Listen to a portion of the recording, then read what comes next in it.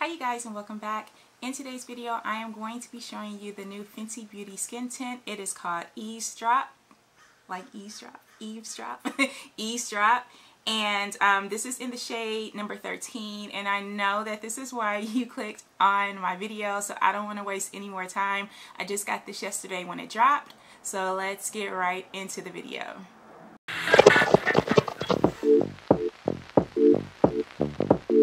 Okay, before we get started, my name is Eboni. If this is your first time here, I am in the shade 345 in Fenty Foundation. It is like my skin in a bottle or a compact.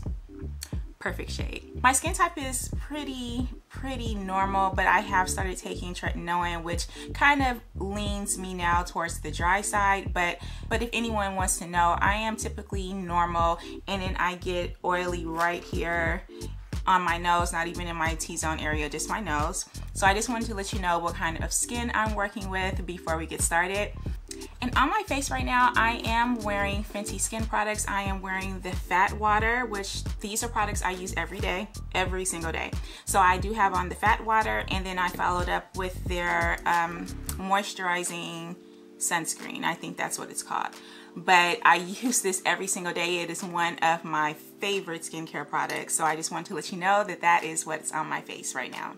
Okay, so let's just, without further ado, let's just hop right into this foundation or this blurring skin tint. This is in the shade 13 and this supposedly corresponds with certain shades. So I've heard some people say that it's like they'll say the number and then through another number and I don't think that that is how this works so um, they do have a shade finder if you go to their Instagram page I'm not sure if they have one on the website but they do have a shade finder on the Instagram page. So I am going to put up somewhere on the screen the shade range map so you guys can know what I'm talking about. And by the way, I do live in Southern California it is hot. I'm on the third floor and um, yeah, I keep my windows open so if you hear those badass cheering, they're not mine.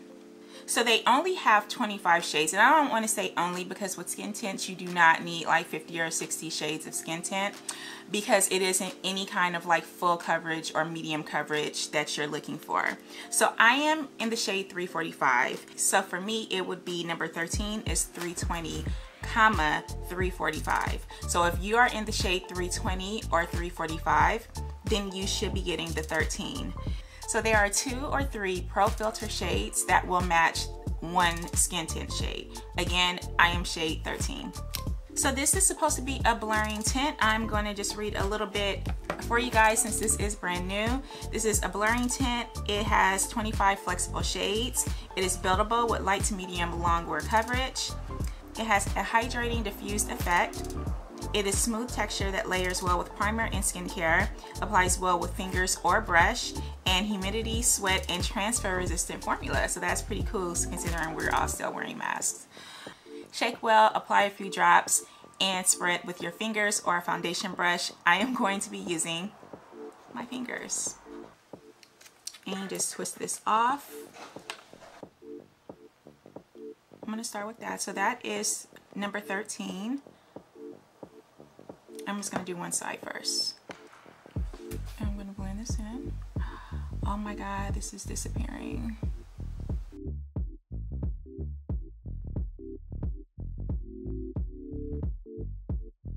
Okay, so you can def uh, definitely has like a blurring effect. Hmm, that looks really, really, really nice. And you can see so I do have a little bit of redness. And I didn't use a whole lot so I'm just I just want to see how much I need to use before I just squirt a bunch on my face.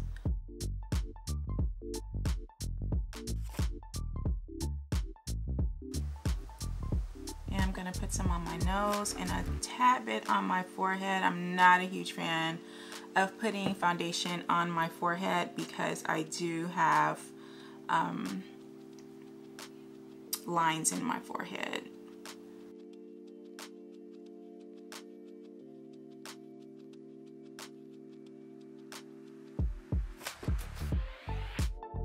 I think that looks really good. This is really, really nice. Yeah, that looks really good. What do you guys think? So obviously, so let's just do a straight on shot. This is the side with, obviously, with the skin tint. And then this is the side without. I think that this is absolutely beautiful. I'm so excited. I do think that I want to try it with a brush though because I just I do sometimes apply skin tint with my fingers, but that's like, I like pour it in my hand and like I put it all over my face, which I'm trying not to do right now. So I'm gonna try with this brush right here on this side and just see if I can get it blended in a little bit better.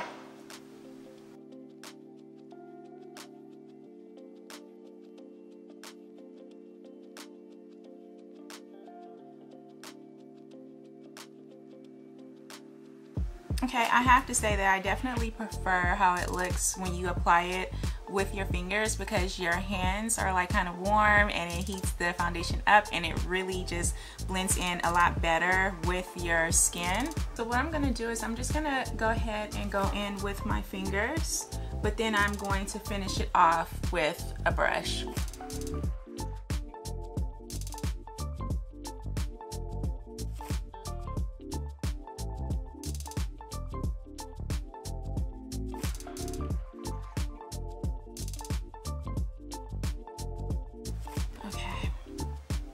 Guys think? I really, really like the way this looks.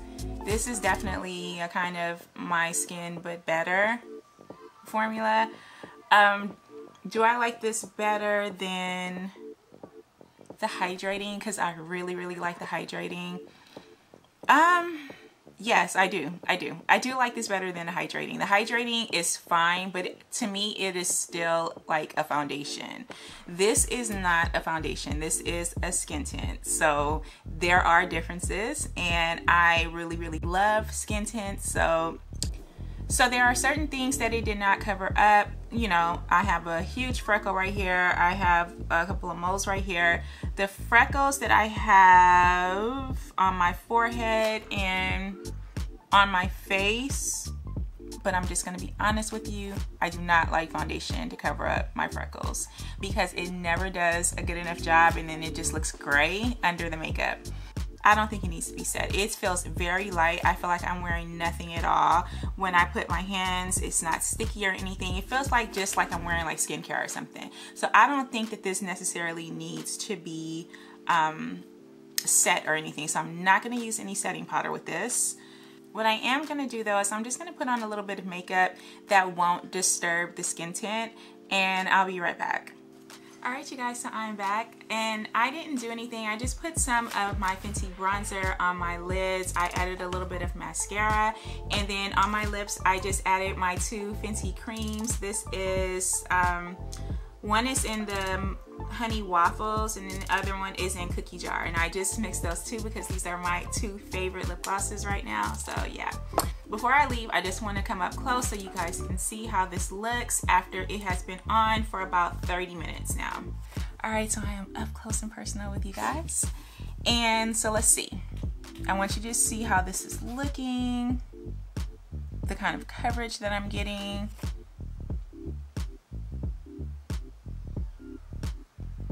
I think that it looks so, so good. Um, it's not settling in my forehead lines and you guys can definitely see my forehead lines here. So definitely blurred my pores as you can see. I'm just really happy with this. So I hope, I hope, I hope that it can last for the next couple of hours. All right, so I'm gonna go. I'm gonna have my coffee and everything. I'm gonna live out my day and then I will be back at the end of the day so you guys can see how this held up. So I will see you later. I look at myself in the mirror and I'm a little bit taken aback at how this looks. It does not look like a skin tint to me. It does look more like a really light foundation. It has a ton of pigment in it. So I can see that I am wearing something on my face. Whereas with true skin tint like Glossier or something, it's just, I just have like a glow. You know, this actually deposits pigment on my face. I do like the look of that, but I feel like I would not be able to put this on and go like I would with Glossier. Like I have to powder with this and I don't even really have like oily skin, but you can see that the oils are peeking out and probably after wearing it for like eight hours or something, I would be pretty greasy, especially around my nose area so yeah um i will probably just need a dusting of powder over it but it's nothing that would um, prevent me from actually wearing this i'm just kind of comparing it to my tried and true serums and i just want to say that this one is a little bit more substantial than something you would find elsewhere so that's it. I'm going to go ahead and um, I'm gonna clock out for right now. I'm so tired. and I'm just trying to hang in there until like seven or something so I can wrap this up and hop in the shower. So I'll see you guys at the end of this video. Okay, you guys, so I'm back. It is about, last time I checked, it was like 6.20 or something. I'm not really sure, but I wanted to just get back here before the sunset um, so you guys can still see this in natural light. Um, I feel terrible. It's that time of the month for me and it is kicking my ass. So I apologize if this is low energy. I'm, I'm doing the best I can. I really am.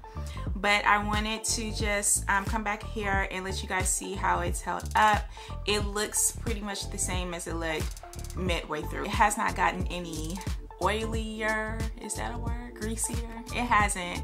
I don't think I have more oils coming out of my face, but um, I actually really like the way this wore. I would probably go ahead and just, um, I don't know, set my nose probably and everything else I will let stay because I really do like that kind of glowy look. So I'm gonna come up a little bit closer so you guys can see how it looks. All right, so this is the final check-in. Um, this is how the makeup is looking. Um, you can see my my lines peeking through there. Okay, so I have a tissue here and I'm just gonna fold this up. And nothing came off from right here. So there's nothing here right now. But now I'm gonna go on my forehead. Didn't, didn't come off there either. Not really. There's like a little tiny bit, but for the most part, no, I didn't really get anything. And then now my chin.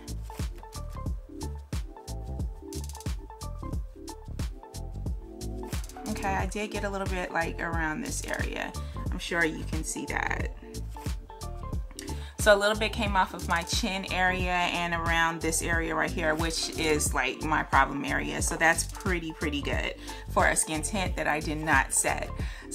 So yeah, this is how it's looking. And just want you guys to see all of it.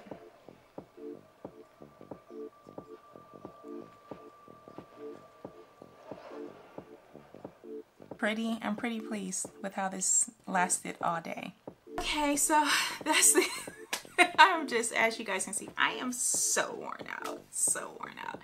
Um, I think that the color at first looked a little bit, a little bit off, but it definitely settled in.